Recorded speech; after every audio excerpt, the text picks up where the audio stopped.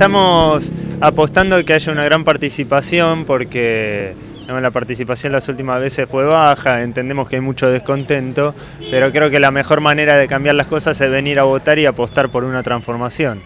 ¿Dónde esperarán los resultados esta noche? En Brown 81, en el local del Partido Obrero. Y bueno, recibiendo a los fiscales, que en nuestro caso son fiscales voluntarios, y bueno, hemos hecho un gran despliegue en toda la provincia para llegar a cubrir eh, la mayor parte del territorio provincial con fiscales eh, por escuela, por mesa, que son fiscales militantes, voluntarios, eh, y creo que muestra también un desarrollo político del Partido Obrero ese aspecto. ¿Qué perspectiva tienen para el día de hoy?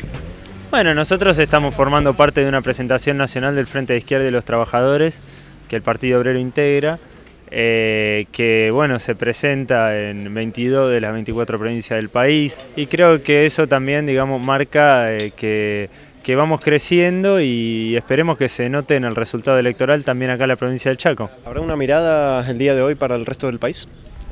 Eh, sí, sí, por supuesto.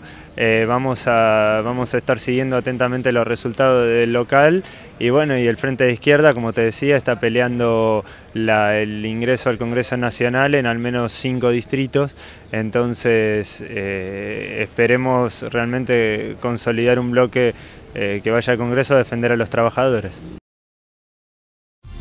Para volver a ver, 9 Link, el archivo de la tele. Suscríbete ya en YouTube.